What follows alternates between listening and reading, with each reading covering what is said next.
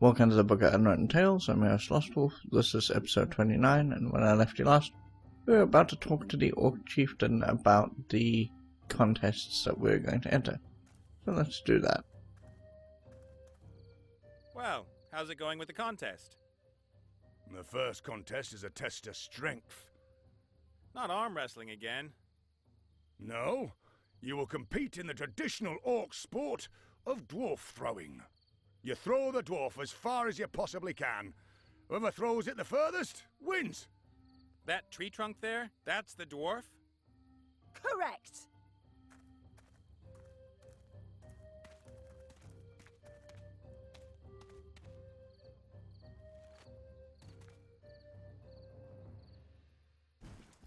A very good effort.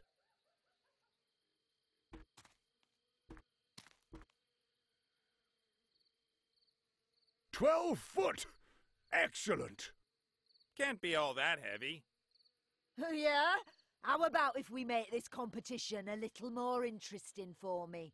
I will participate with a handicap. Aren't your looks enough? That means that the Honourable Mazaz allows you as many attempts in each discipline as you like to try to improve on her performance. And if you manage just once, then you've immediately won the discipline. Okay, fine by me. Give me the dwarf.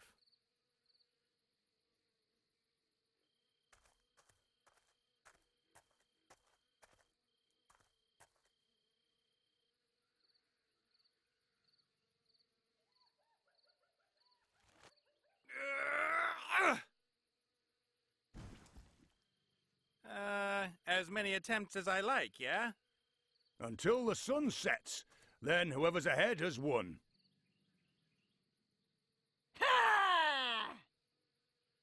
I'll do the one honorable thing left to me in this situation. Cheat. Which, of course, is not honorable at all, but that's the Nate way anyway. So let's look at the uh, dwarf. That Oh, sorry. that kind of weight, there's no way I can chuck the dwarf 12 feet. I need to come up with something. That thing weighs a ton at least. It's a huge trunk. Right, and then he sees into the second thing. So it's At that kind of weight, there's no way I can chuck the dwarf 12 feet. I need to come up with something. That thing weighs a ton at least. It's a huge trunk. So the clue in there is it's a huge trunk. It was part of a tree at one point. So we know that there are woodlice over here, or termites anyway. Let's talk to them. Hey, you there! The mammal. Could you help me with a dwarf throwing? See you soon. You know a thing or two about wood, don't you? How come this dwarf trunk is so heavy? An invisible wizard is pushing it towards the ground. I, I uh, don't think so. What do you expect? That thing is a solid tree trunk. They're always heavy. Could you maybe hollow it out a bit? Yeah, sure we could. But what do we get out of it? What would you like? Uh, a 1784 Chateau Latif board? What's that? Wood that was made into wine barrels, cupboards, coffins, etc. in the year 1784. 1784 is an extraordinarily good wood vintage. You can't be serious. Where am I supposed to find something like that? Your problem. Can't you just hollow the dwarf out? Could you please hollow out the dwarf? You're asking the wrong people, Ape. Do we look like socialist woodworm vermin? Uh, worse. I think we're gonna get the same response. Could you please? You're asking the wrong. Yeah. Okay. I So, need to get going. Catch you later, Ape. so the only person that we know that might be able to get anything uh, in or out of the camp, because we can't leave. The minute we leave, we have a problem. Is the guy next door? A load of socks all knotted together. That stops arguments about whose feet are used as a basic unit of measurement. There are a few merchants in Pockmore who, for this very reason, have hired staff with particularly big feet and some with pretty teeny ones. They'll use one or the other depending on whether they're buying or selling. Of course, that sounds about right. Because things used to be measured in feet, in order, like our horse would be measured in hands, and so that would be how you would sell it. But of course, a hand is different from person to person. I've got to beat Mazaz's 12 foot throw somehow. I don't. I've got to beat Mazaz. Okay, I don't think you can pick it up. That's fine. Hello, sunshine. Buzz off. Or do you want to give up? Nope, not me.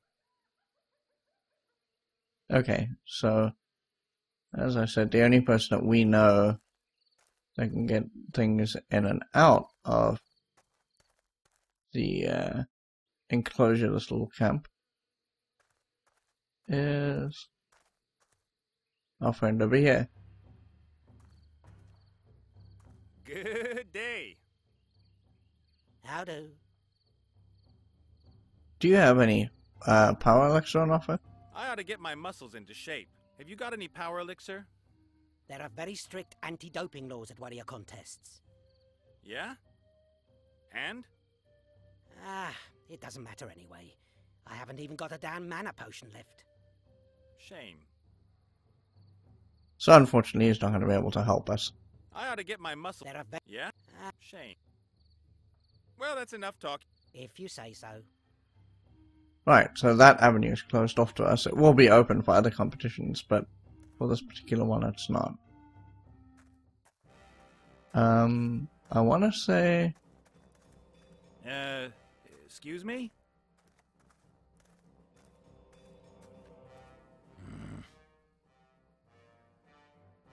I want to say that we. Oh, we don't. Okay, sure.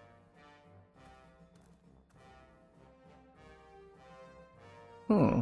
Interesting. What's that? A board and a note. I think the hooded one just had a look at it too. Ah. It says a 1784 board from Chateau What's Its Name. Can't be. Suspicious. And how? You don't usually get anything gratis around here. Maybe it's a trap. Something's telling me I ought to be careful and had better get moving.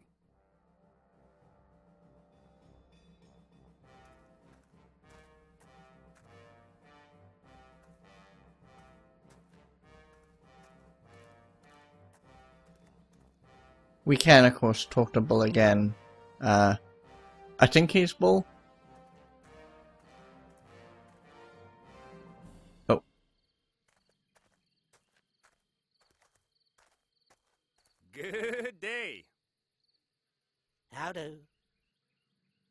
Oh, okay, no. Well, that's enough talking. If you say. I thought that he would be able to help you out further, but it's okay. We've got what we needed.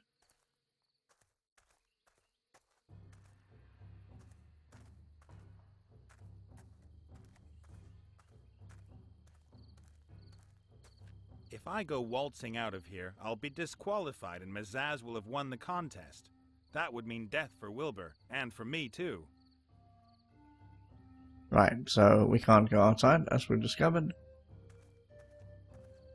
But we got what we need. Hey, you there!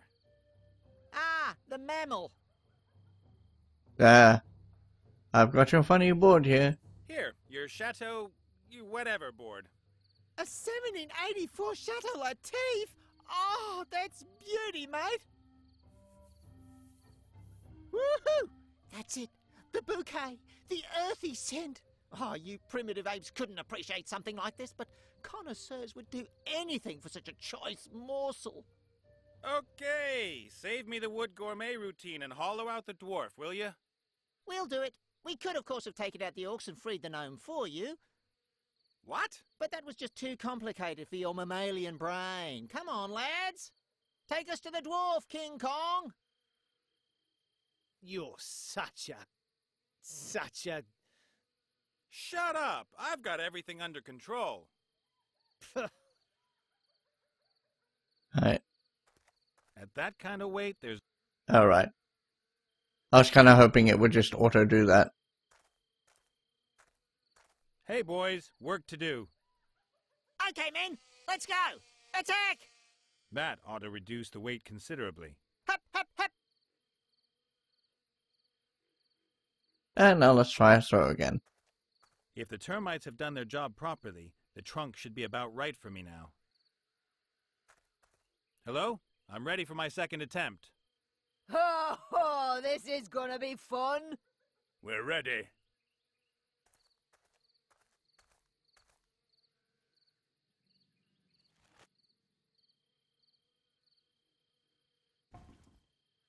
Very impressive. He is cheated. No, I didn't. Yes, you did. No matter. My attempt went further. We'll measure it.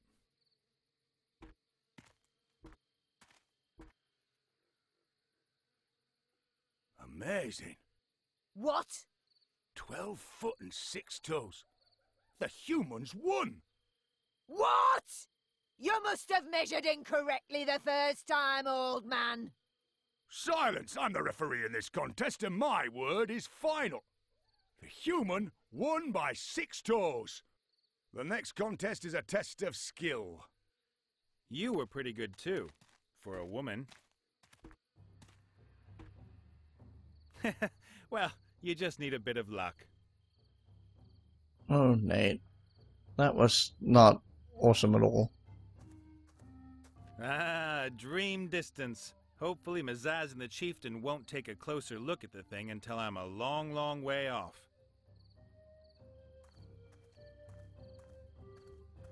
Alright, so let's do our second uh, test. Uh, uh, where's the chieftain at? I think I've got a vague idea of what the next competition might be. It's the test of skill. Archery. Ooh, how does that work then? You have to shoot an arrow into target from back here. Oh, really? Out of the way, Windbag. No one's gonna rescue you this time. I never miss.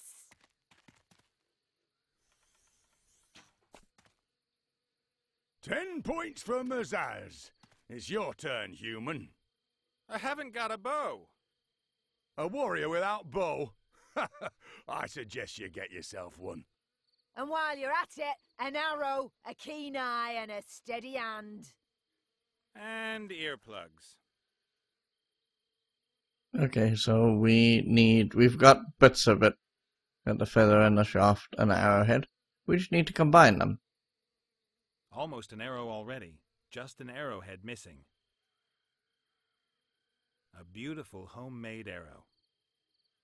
Okay, we can throw a homemade arrow at the uh, this here. Uh, can we?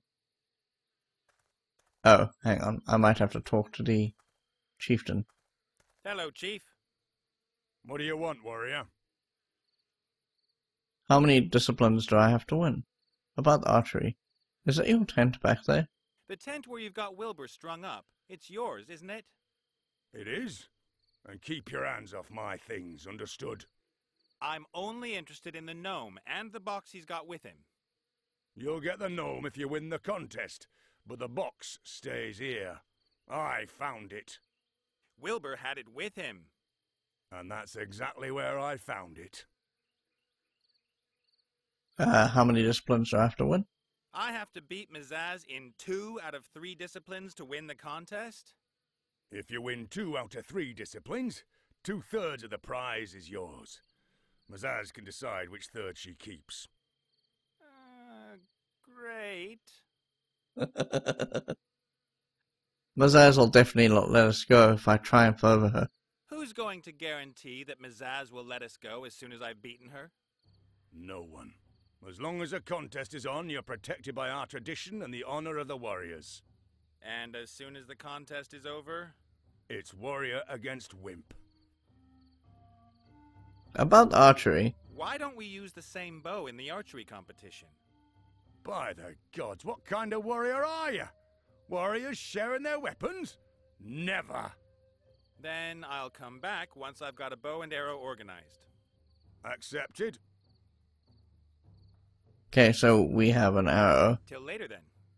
See you, warrior. Need a bow. And notice now Bull's not here.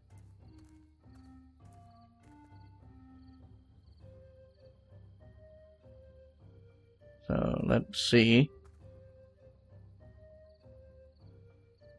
if we can sort ourselves a bow. Uh, we need to just walk around really quickly because there's a specific person that we're looking for. There we go. Greetings, stranger.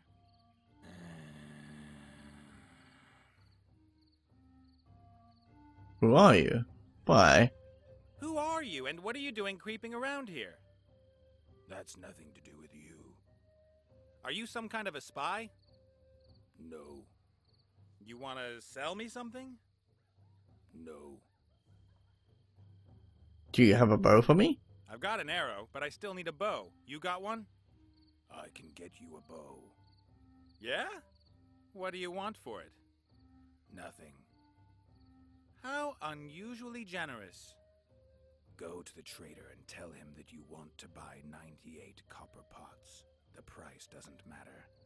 I've had enough of copper pots. I spent half a day in the dragon's cave making stupid copper pots. Just do it. Then I'll get you your bow. Hmm, okay.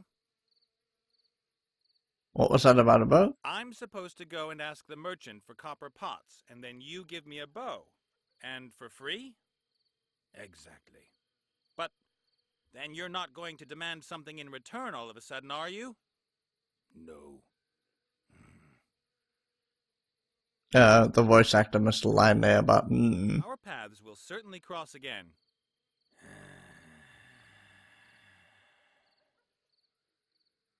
Okay.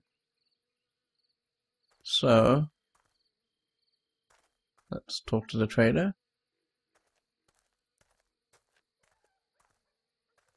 Good day. How do? Do you sell bows and arrows? I need copper pots. Have you got a bow and maybe some target seeking arrows by any chance? I've got no bows. And if I had any target seeking arrows, they'd be sticking out of your backside by now. Hey, you could at least be polite. So, what sort of things do you have on offer? So what have you got then? What are you after? Hmm, nothing really. I've got that. Lots of it, actually. This will change eventually, but for now we just need to sell. We need to talk about the copper pots. I'd like to buy some copper pots. Great. As you can see, I've a wide range of different pots. I need 98. 98 copper pots? That's not going to be cheap. Gold is no object. My client has more than enough. I see. Well, I'd love to take all that gold from your pockets, but I don't even have one single damn pot. Shame. Certainly. Okay. Let's well, go. that's enough talking. I have a gnome to rescue. If you say so. Let's go and talk to the hooded figure. Greetings, stranger.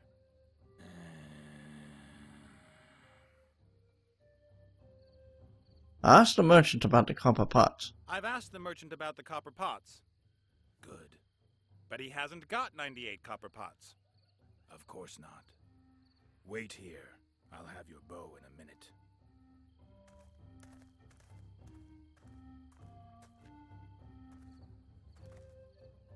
Isn't there a story about some guy who sold his soul to the devil? Okay.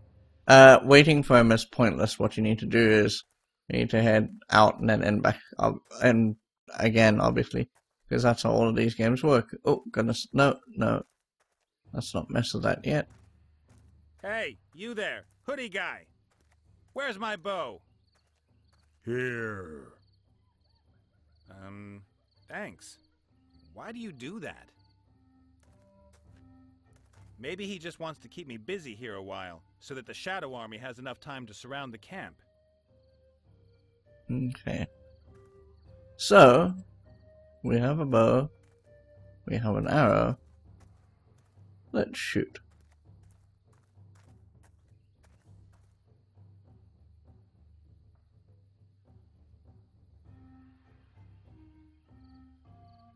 Ah.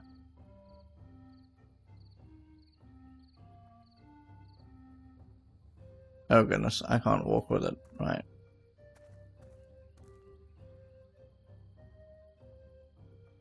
There we go. Let's shoot.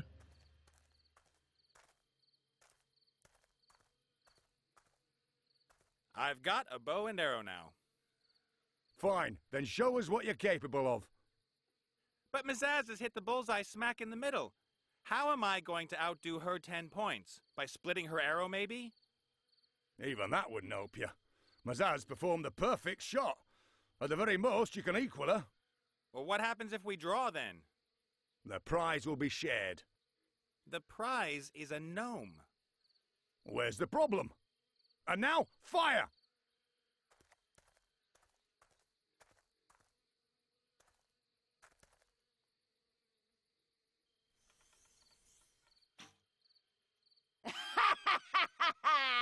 And now?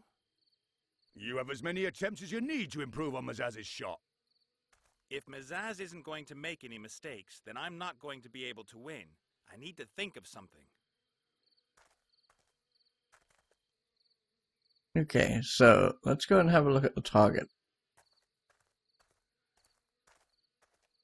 Mazaz hits the bullseye every time. If I don't come up with something fast, the best I can do is get a draw. Uh, oh, okay. I think that we have, we can shoot again, but we need our bow. Um, so, I don't think it went up there. That's fine. Let's go this way.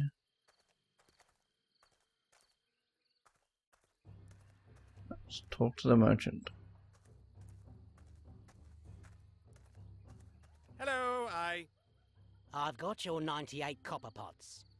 Really? Let's talk about the price. Um, of course. I'll, uh, tell my client that the goods are available and have a few sacks of gold sent over. Is honest hard work finally gonna pay again? You do know that I won't let you get away with deceit. Yes? No? That. that's clear. Okay. Uh, why do you never have anything that I need? Need? It seems to me somehow that you don't have one single useful thing to sell. What should I do? My suppliers are dead and they don't deliver on time anymore. But you've got to have something useful to sell. Let's see. Ah, well, I've got a shrinking ring. Costs two piles of gold. Some firewater. Or here, a magical stone. What does that do? It attracts metal of all kinds. You mean a magnet? No, it's a magical stone. Swords, chains, arrows. It attracts everything. Oh, magic. So that's uh, both interesting and useful. Because notice in the middle there he talked about swords, arrows, and that kind of thing. So that's going to be interesting for us to procure. So let's see if we can get that. So, how much does this magic stone cost?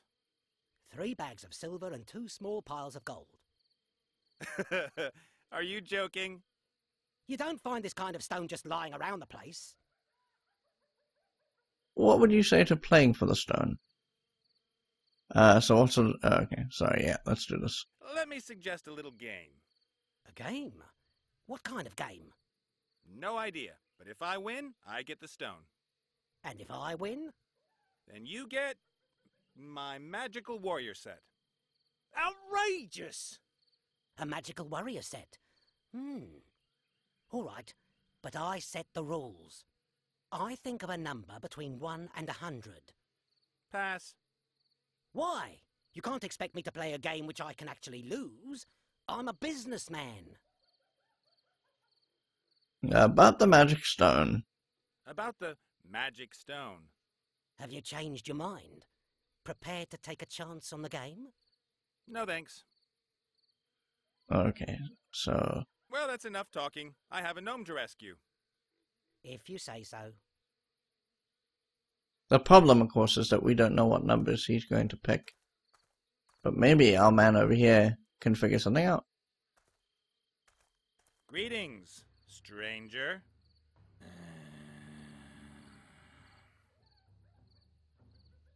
Do you have any idea how I can get the orc warrior to not consistently hit the bullseye? Mazaz, that ugly orc warrior with a kind of female-ish appearance back there, is a damned good archer. I have to somehow get her not to hit the bullseye every time. I know. This thing here will help. A crumpled note? Well, that's pure genius. But what am I supposed to do with it? Read it and play the merchant's game.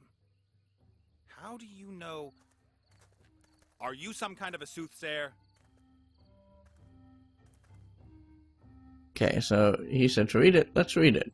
The hooded man's crumpled note with three scrawled numbers 42, 79, and two and a half. Even if the guy is a soothsayer, which of the three numbers is the merchant's? Okay, so let's go talk to the merchant.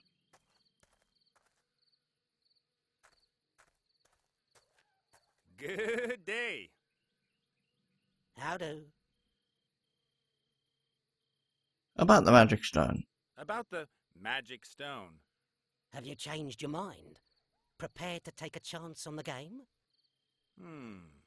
Only if you write down your number. If I write down the number and can't change it afterwards, then your chances of winning increase dramatically. Then write down three numbers. That'll do it. Three numbers. And if you don't guess all three, I get your magical warrior set. Correct. But if I succeed, I get the stone. That sounds reasonable. Three numbers. What are they? Hmm, shall we say 42? Um, wrong. You do have to show me the note afterwards. All right then. Right. The next number is, um, 79. How do you do that? And the third number, aha, you wanted to trick me with this one. It's two and a half. That's just. You. The stone, please. And before you try any tricks, I don't think that the chieftain's going to appreciate your not settling your gambling debts while you're in his camp. Hmm. You're in league with that hooded one. He's a black mage. A thought reader, I tell you. He's using you to further his own ends, and when you're lying dead in the dust, I'll take my stone back and the warrior set. Okay. Well, that's enough talking. I have a gnome to rescue. if you say so. That laugh wasn't evil at all.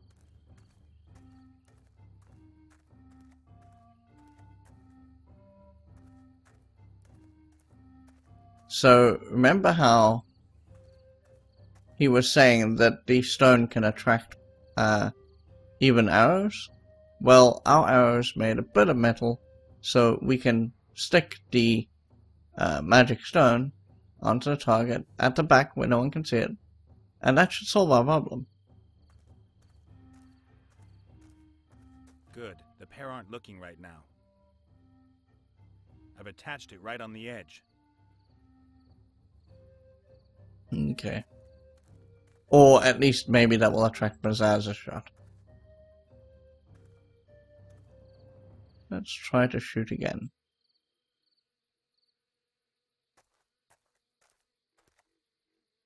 Let's try again. Honourable Mazaz.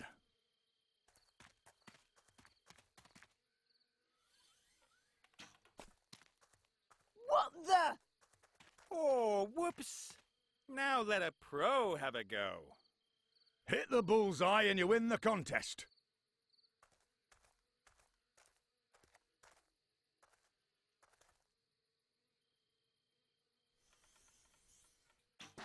Mazaz has won. But only with a bit of luck, eh, Zazzy? What was all that about I never miss? Okay, there's a bit more to this particular puzzle. Uh, if you remember, when we walked in here for the first time, we saw that we could mess with the pot and the pan and so on. But that's a bit of a, a thing. And so what we're going to do tomorrow when we come back is I will actually show you how they work, and then we will win this particular bit of the contest. that's it for us today. Thank you so much for watching.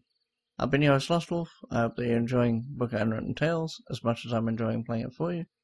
Have a wonderful evening, and good night for now, folks.